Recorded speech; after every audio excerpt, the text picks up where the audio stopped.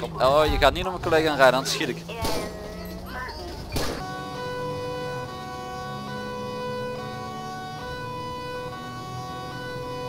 Freeway naar een ongeval. Inbraak heet de daad van een voertuig. Eh, we gaan meteen die kant op.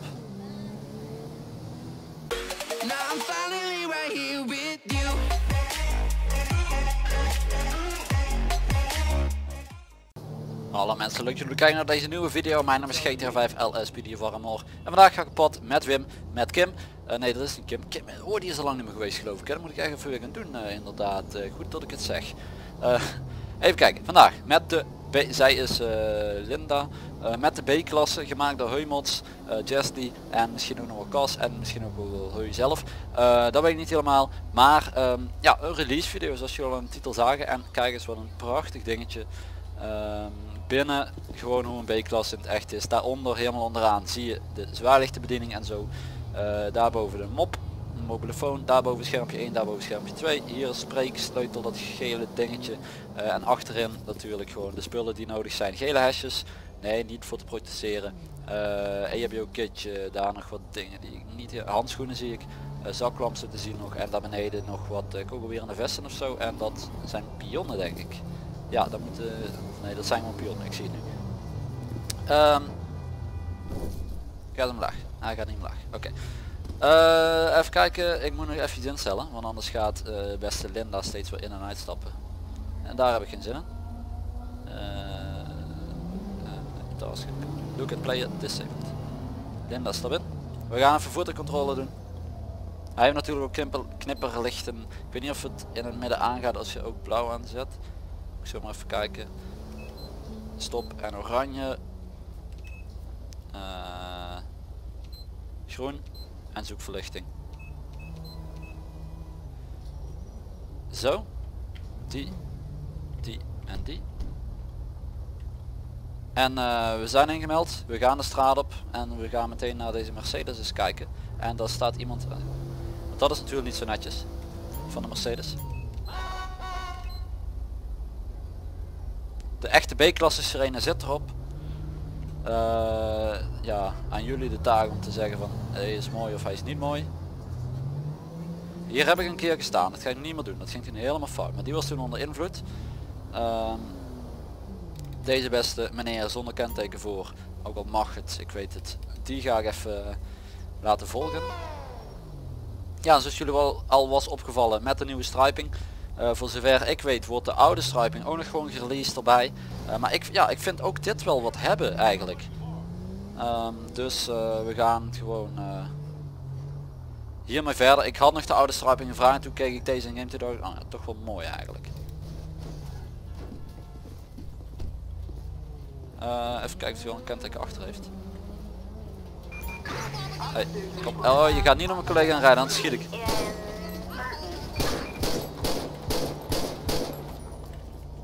SC achtervolging, collega is ge omvergereden. Collega instappen, instappen, instappen, instappen. Kom op, ik ga... Ja, oké, ik ga verder zonder.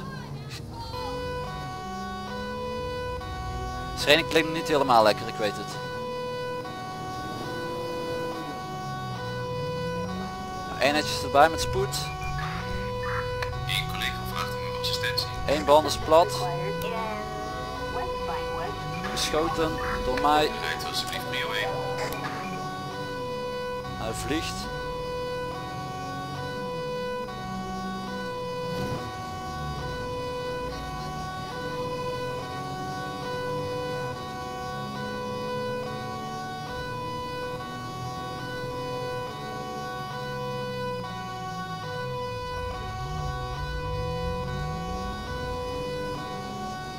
Is hij veel te druk om een manoeuvre uit te halen?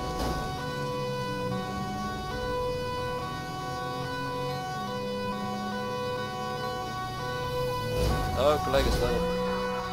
Hij zit in een andere Mercedes, letterlijk erin. Maar hij is er doorheen weten te komen.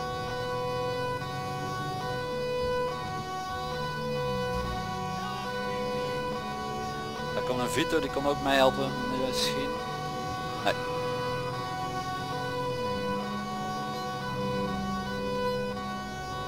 Nog steeds leidend voertuig. Als je nog eentjes hebt voor me, dan zijn die meer dan welkom. Hij stopt door eens. We zijn er flink opgeknald, maar we kunnen nog verder. Er komt nog zo'n Mercedes aan. Ik ga hem hier proberen het gras in eh, te douwen.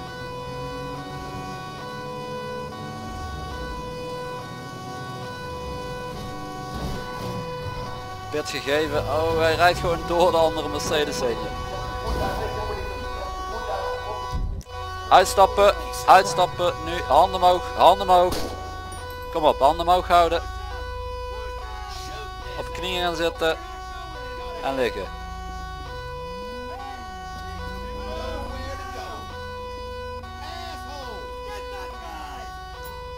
Zei uh, één verdachte aanhouden, veel Bergen.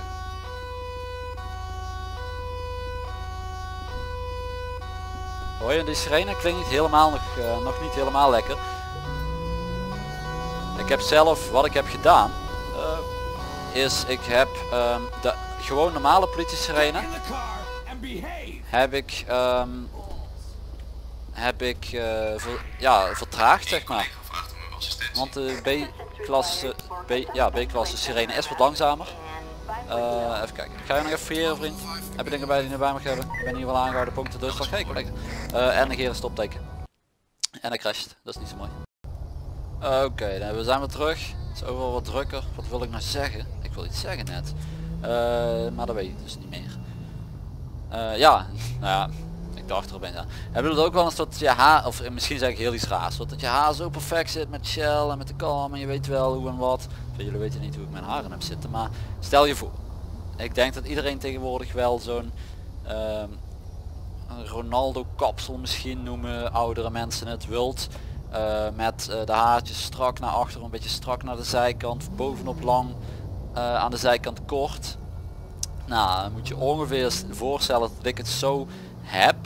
Maar niet zo extreem met heel veel gel en zo. Maar ik had dus altijd gewoon iets heel anders. En ik dacht ik wil eens iets anders doen. Ehm, dus zodoende eh, dacht ik van, nou, ik laat, laat ik eens iets anders doen. Dus dat deed ik. En eh, nou, de kapper deed het dan voor hoe het moest. En ik deed daarna dan weer zelf proberen thuis inmiddels. Ja, het lukt allemaal niet. Eh, inmiddels had ik vandaag dus zo'n dag dat ik dacht van lekker man, het eh, ziet er goed uit. En dan moet je nu je headset opzetten en dan ben je echt bang dat je haren verpest. Nou, dat zal dan misschien echt dat ik de enige ben die dat heeft en dan klinkt ik nu heel stom. One Lincoln 18. Eén collega vraagt om uw assistentie. Ja, we gaan er wel even heen. alsjeblieft prio 1. Freeway naar een ongeval.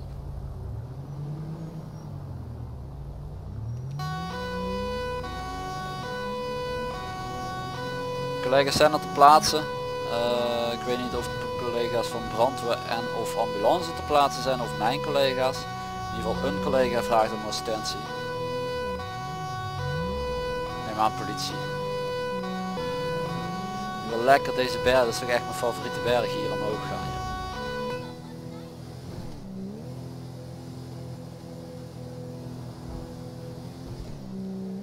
Ja, maar wat, wat zit die automaat nou te kleuten? Moet je kijken. Nu gaat hij terug naar z'n twee en dan zit hij in een mooie snelheid. Of in het rood zeg maar qua... Oh ja, die stopt natuurlijk voor mij. Eh, in het rood qua toerenteller en dan gaat hij naar zijn 2, naar zijn 3. En dan beseft hij van... Is toch wel wat te laag, dan gaat hij terug naar zijn 2. En dan zit ik weer te hoge toerenteller en gaat hij weer naar zijn 3. Eigenlijk moet dat ding gewoon snappen. Ja, of het spel moet gewoon snappen dat je... Ja, nee, laat maar.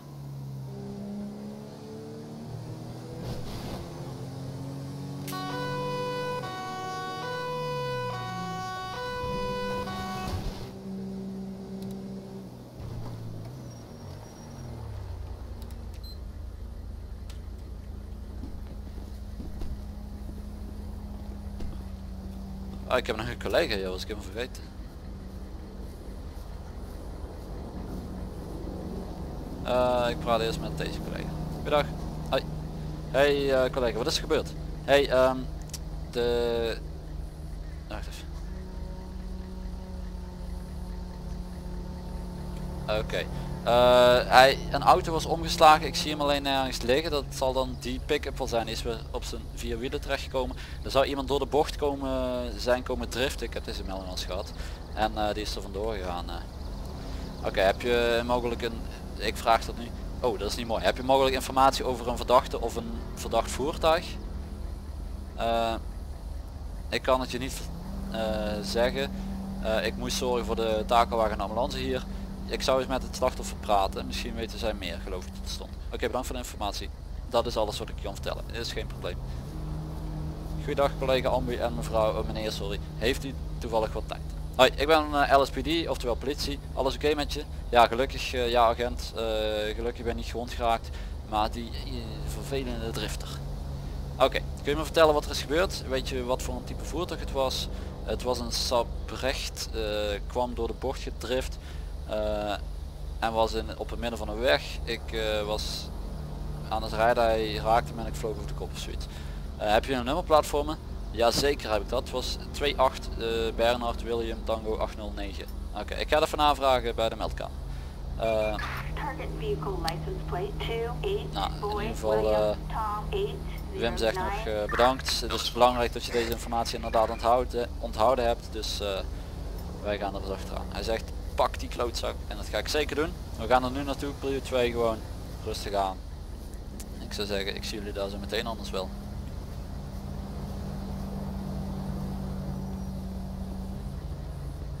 Het zal wel een eindje rijden zijn. Oh, dat valt nog mee.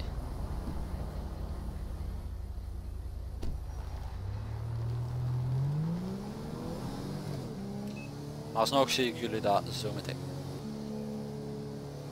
Nee trouwens, we blijven nog even. Want wat is nou precies anders aan deze B-klasse dan met die wat er al was?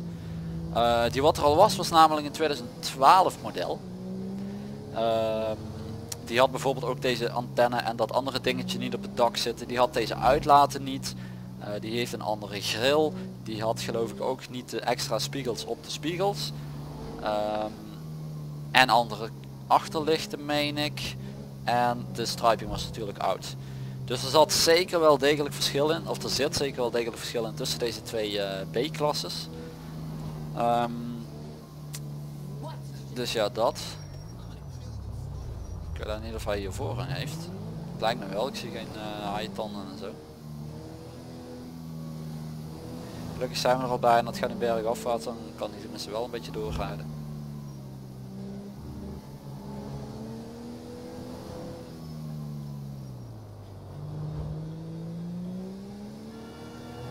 Hey joh, wat zit je nou te tuteren en met je rood licht te schijnen? Ik, eh, ik kan er makkelijk langs.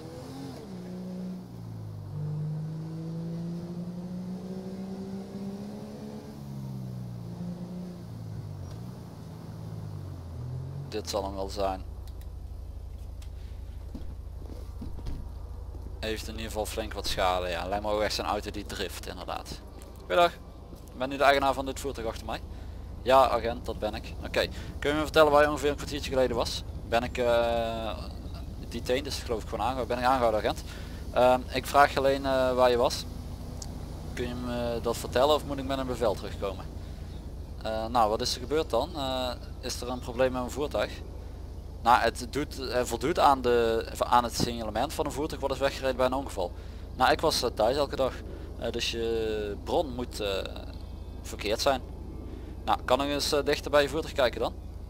Oké, je hebt me. Ik, eh, ik heb de persoon geraakt en hij eh, reed weg. En ik ben doorgereden. Hij zei iets. Nog iets, maar goed. En toen ging het opeens weer tot ik hem naar het politiebureau ging brengen. Dat gaan we ook zeker doen.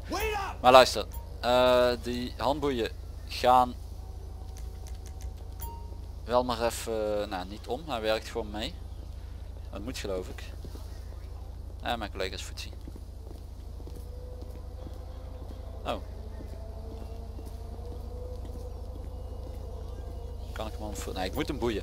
Weet je, meestal eh, zou ik zeggen van als iemand niet geboeid, eh, als iemand meewerkt, kun je net zo goed even gewoon lekker eh, ehm, ja, laten lopen en eh, gewoon zelf laten instappen en zo.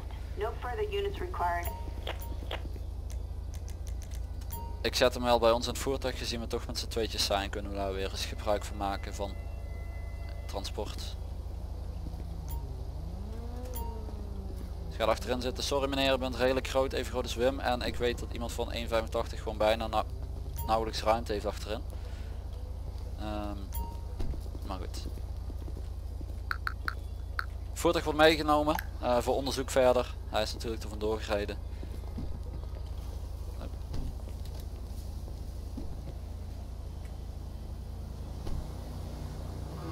Dus we gaan even naar de cel met ons boefje. Oh, daar loopt een hond hier.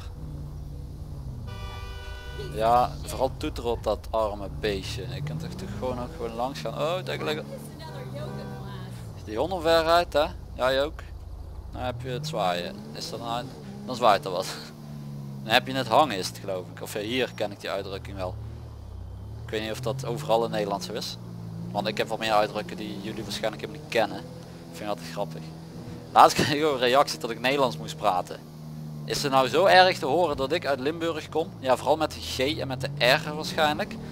Ehm, maar eh, ik heb niet gevoeld dat het echt zo is dat mensen continu zeggen dat ik uit Limburg kom. En eigenlijk in een clan, met mensen die langer met mij praten, eh, die zeggen ook eigenlijk altijd, kijk, bepaalde leden hoor je het heel erg bij en dan zeggen, ze dat, maar bij jou niet echt. Maar ja, blijkbaar wel, ik moest Nederlands praten. Nou, ik zei, ha, sorry, ik wist niet dat ik een andere taal praatte, ik zal erop letten. En toen was het, ja, oh, eh, leuk dat je reageert, eh, ik wil een hartje, ik hou van je. Oké, ja, nou goed. Hartje heb ik trouwens nog niet gegeven. Sorry. Maar, eh, ja, blijkbaar praat ik toch wel Limburgs of zo dan. Of niet, BN, beschaafd Nederlands. Het is geloof ik niet algemeen beschaafd Nederlands. Is inmiddels BN, beschaafd Nederlands. Als niemand doorrijdt, dan rij ik maar door. Voordat we overal rood hebben. Daar had ik het laatst al over. Als er één ding is waar ik niet tegen kan, dan zijn het rode stoplichten van GTA. Of de verkeerslichten van GTA. Want, wat ik al zei, eerst, kijk nu even bijvoorbeeld links groen. Dan krijg je rechts groen. Dan krijgt voor je groen als het van toepassing is. Dan alle voetgangers. En dan jij pas. En dat duurt lang.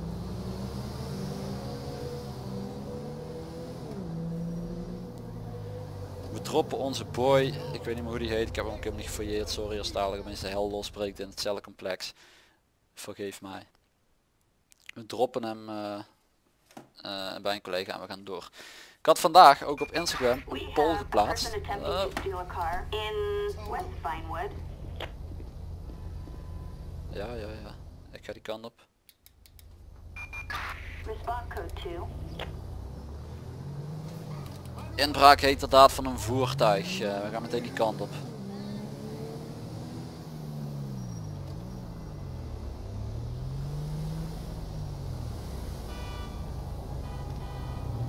Dan rijd ik gewoon even met het verkeer mee. Bijvoorbeeld, oh shit, die zag ik dus echt niet. Sorry. Mijn volledige fout. Ik mag eigenlijk niemand ten last zijn tijdens het gebruik maken van mijn vrijstelling. Dat betekent dat eigenlijk niemand voor mij hoeft, moet stoppen. Kijk, nu hebben we groen, nu kan ik door.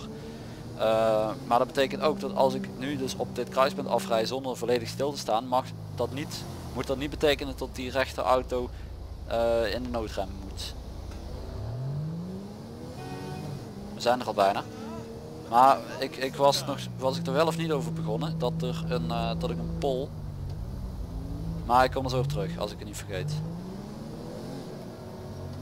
Oh, dat is wel een flink stoeprandje. Dit ook. Goedendag, even staan blijven. Oh, stoppen.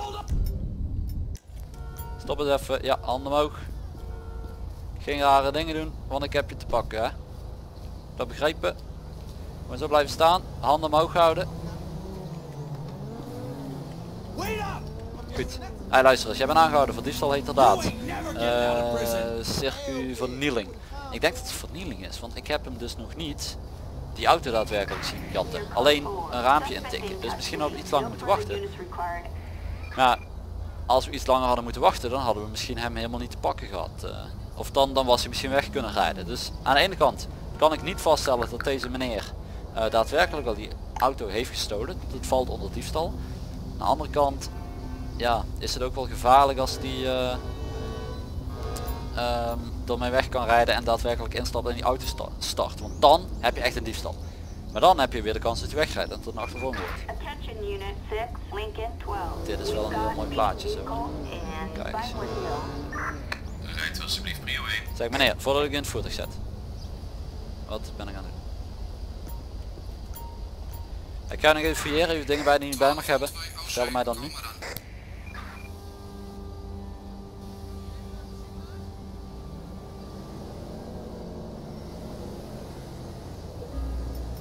Een vuurwapen. Heeft u daar een vergunning voor? Nee. Dus verboden wapenbezit van een vuurwapen komt er zo nog bij.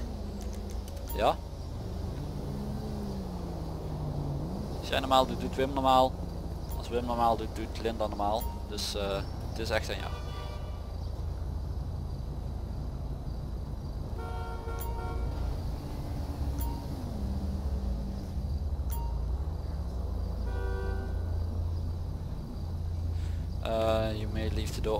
It. Nou, laat me logisch dat we hem even dichtmaken toch. Ik, eh, over die pol waar ik het over had. Ik heb een, op Instagram vanmiddag, ik had vanmiddag voor mijzelf dan eh, een polge of een uh, reanimatiecursus had ik, een opfrisser, want ik heb natuurlijk al een paar jaar mijn diploma. En ik had dus een foto gestuurd van de pop, of een foto op mijn Instagram story gezet van de pop. En daarbij gezet ehm, met de vraag wie allemaal al kan reanimeren. En tot mijn grote verbazing zie ik nu echt gewoon tot bijna 130 man het niet kunnen en 160 man het wel kunnen. Dus ik zou zeggen, waar wacht je nog op? En waarom kun je nog niet? Ben je te jong? Mag je nog niet? Heb je geen zin gehad?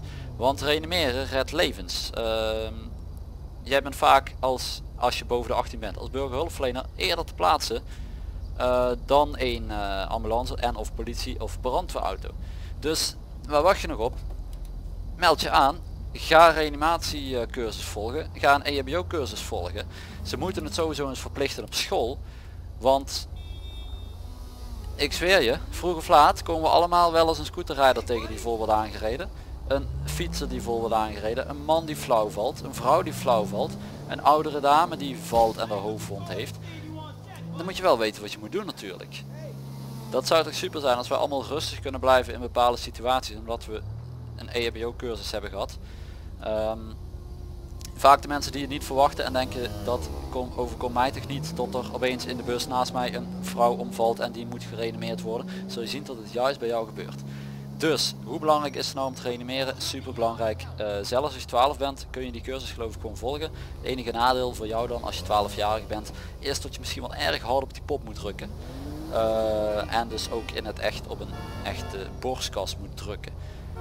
Uh, maar goed, al heb je het eens geleerd, maar in ieder geval denk erover na om het te gaan doen als je bijvoorbeeld iets ouder bent, 15. Ik heb het op mijn 15e gedaan.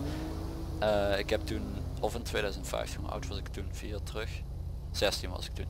Um, daarbij ga ik hier even een beetje tussendoor, want dit duurt me allemaal wat te lang. Um, heb ik me op mijn 18e verjaardag meteen aangemeld als burgerhulpverlener. Inmiddels heb ik er zeven meldingen op zitten uh, als burgerhulpverlener. Dus dat betekent dat als de ambulance meldkamer een melding binnenkrijgt van iemand die uh, gereanimeerd moet gaan worden, dus een hartstilstand, dan gaat de meldkamer ambulance niet alleen twee ambulances, politie en eventueel brandweer meesturen, maar ook de burgerhulpverleners. Voor hetzelfde geld gebeurt hier iets tegenover mijn huis, ben ik daar met een minuut en is de ambulance er pas over zes minuten.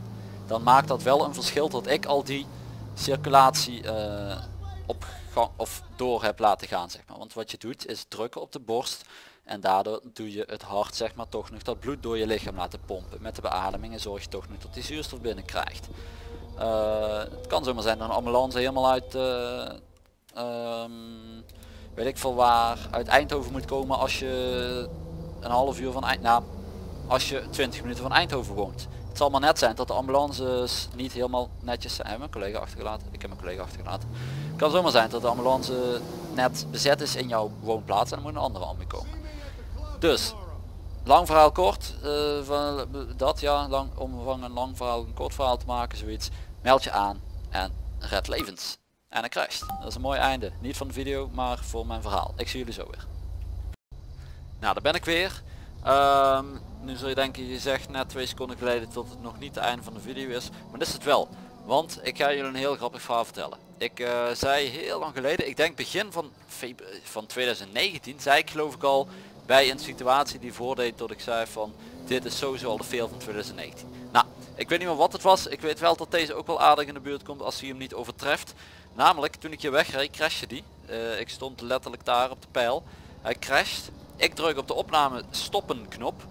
Eh, echter, in mijn gedachten was ik dus niet gestopt. En ik doe F5 en ik doe load plugin, LSPDFR en zo en load plug en force duty. Dus ik weer opstarten en ik ga vrolijk verder. En op het moment dat ik eh, stop met de opname, dat ik stop met de video, voor mijn gedachten, druk ik weer op de knop om de opname te starten, maar dat is tevens ook om te stoppen. Dus ik druk erop en ik krijg rechtsboven in beeld iets te zien. En ik denk, oh goed, hij is gestopt. Bleek hij toen pas gestart te zijn. Nou, ik de video, een video editen, een video renderen, in de render gooien. En uh, bla bla bla, ik eh, avondeten, ik surveillance starten. Of s- ja, van eh Roleplay Reality.